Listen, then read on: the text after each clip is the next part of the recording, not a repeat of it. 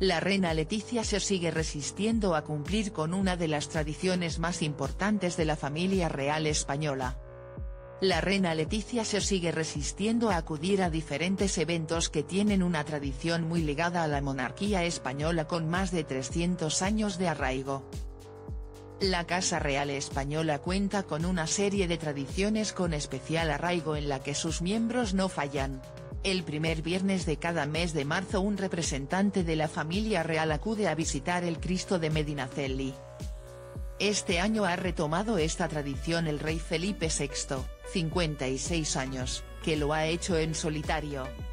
De hecho, la reina Leticia, 51 años, no suele acudir a este tipo de actos, ya que la última vez que acudió fue en el año 2004 cuando apenas faltaban dos meses para su enlace matrimonial con el monarca.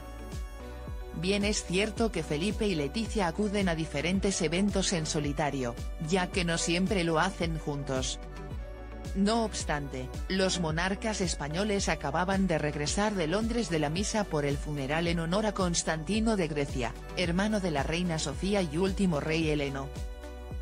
Sin embargo, este tipo de tradiciones se le siguen resistiendo a la que un día fuera periodista, ya que no es muy común verla aparecer en esta importante tradición que la familia real tiene desde hace casi 300 años. Felipe cumple la tradición sin Leticia.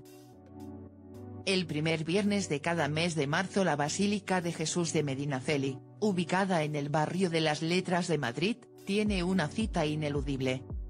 los devotos del Cristo de Medinaceli esperan este día con mucho entusiasmo, ya que la iglesia abre sus puertas para que todo el que lo desee pueda realizar.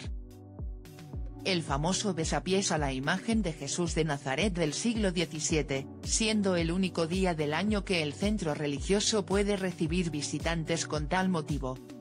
la familia real española tiene una tradición muy arraigada a este acto, ya que desde hace casi 300 años la monarquía de nuestro país está muy ligada con este Cristo. Por ello, el hijo de Juan Carlos I ha sido fiel a esta tradición, acudiendo en solitario a un acto que se le sigue resistiendo a su esposa. La última vez que Leticia acudió a este particular besapiés data del año 2004 cuando apenas quedaban dos meses para que pasase por el altar con el por aquel entonces príncipe de Asturias. El padre de la princesa Leonor ha llegado a la iglesia por segunda vez desde que ascendiese al trono, ya que en anteriores años la representante había sido la reina Sofía y la infanta Elena.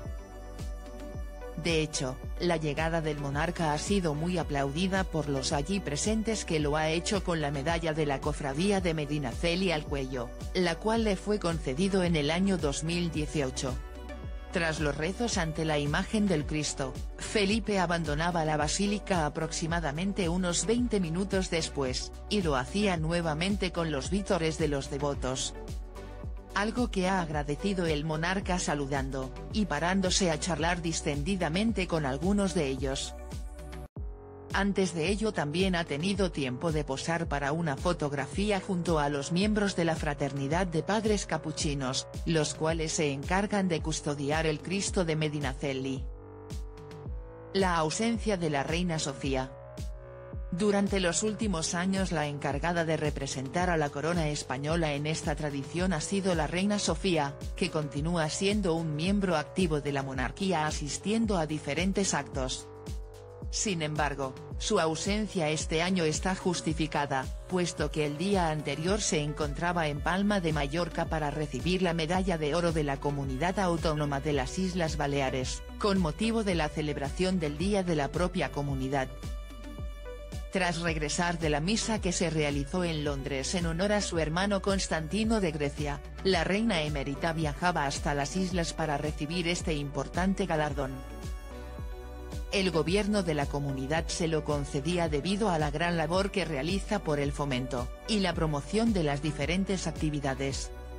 que tienen lugar en Baleares, ya que la reina Sofía acude siempre que puede al Palacio de Marivent para disfrutar de todo lo que concierne a la isla.